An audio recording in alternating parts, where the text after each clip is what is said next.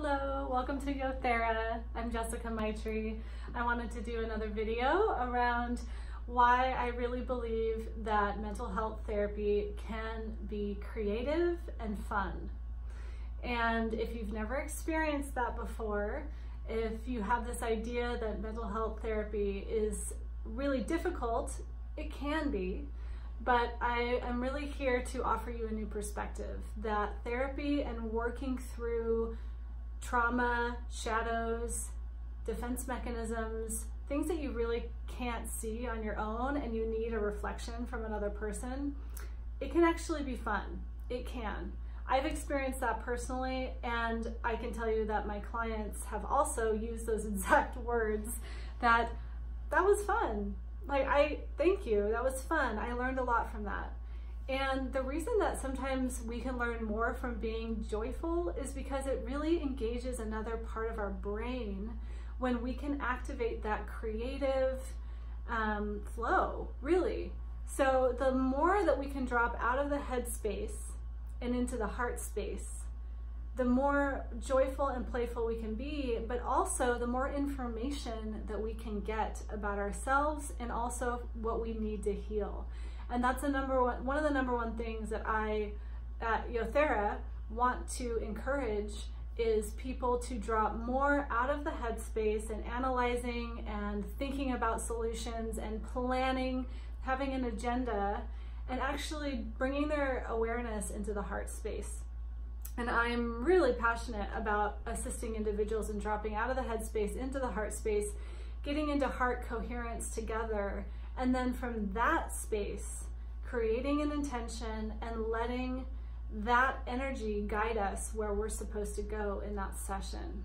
And it can be vulnerable because we don't have an agenda, but we trust.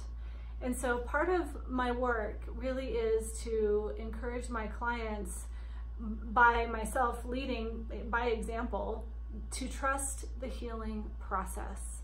And we live in such a I'll use the word masculine because every, you know it's it's not gender specific, but we live in a very masculine world where we're supposed to have everything planned out, do all the things and dot, you know, all the I's, cross the T's. And then when things don't work out, we feel like slighted or we feel like we failed. And I think that's because our feminine, if you will, the feminine side of us that wants to trust and trust that life really is taking care of us and life is working for us, that that part of us is actually weaker than our masculine side for a lot of us. And in my work with clients, I really encourage that trust muscle of the feminine, of the allowing and letting go of control to really find a whole deeper layer of healing. So I wanted to share a little picture with you. Um, I don't know if you can see it with this light that I have. There we go. This is me.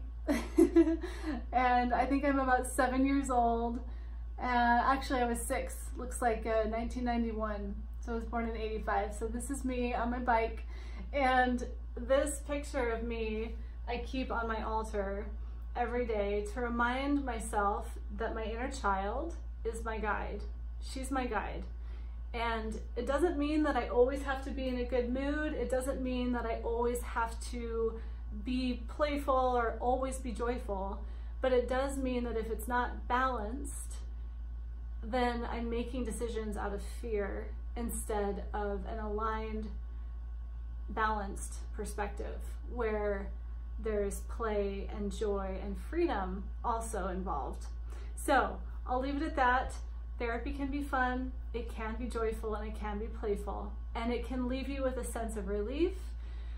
yes.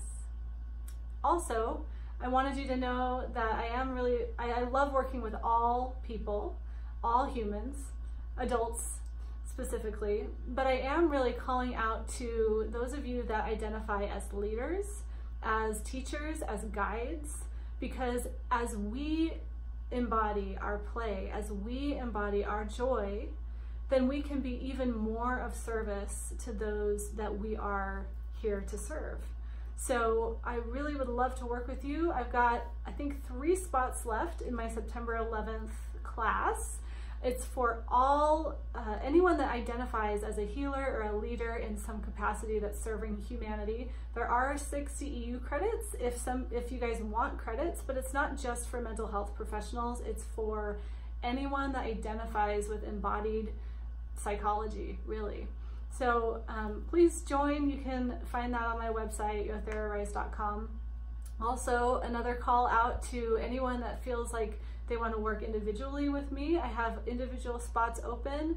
I do packages primarily because I can do longer sessions. And that brings me back to the first part of this video, which is why I want to encourage more creativity and more joy in our sessions. If I continue to do my, my traditional therapy model, which is about 50 minutes, you know, like a 50 minute to an hour session, we just didn't have enough time to really go deep and explore and do, uh, you know, any kind of, of really going deep. So my sessions are 75 minutes, 120 minutes, or even 180 minutes.